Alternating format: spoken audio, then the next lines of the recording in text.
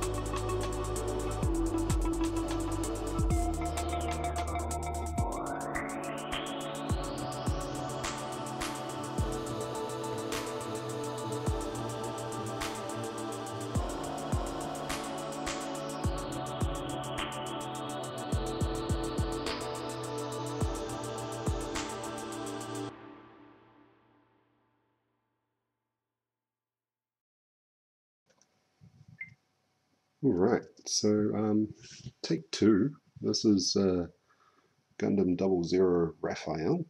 Uh, he is from the Double Zero Gundam movie, Awakening of the Trailblazer. He's a he's a pretty cool figurine. Um, can't see him too well because it's really dark on him at the moment. So let's shine a torch on him, get a bit of light on there. Oh, wow, that's way too much light.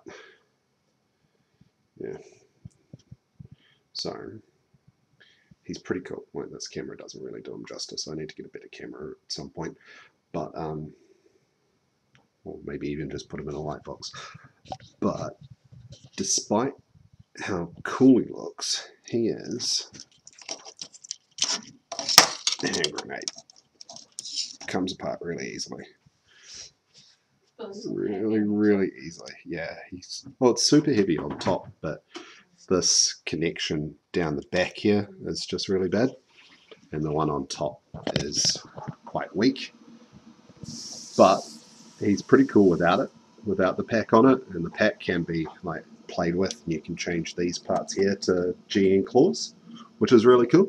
And they have the little stand thing but himself he's only got a little 3 mil hole just in there to um, mm to be able to put them on an action stand, but I need to put a bit of glue on the on the connection there in order to make sure it thickens up and stays in place if I want to have it put into any type of pose.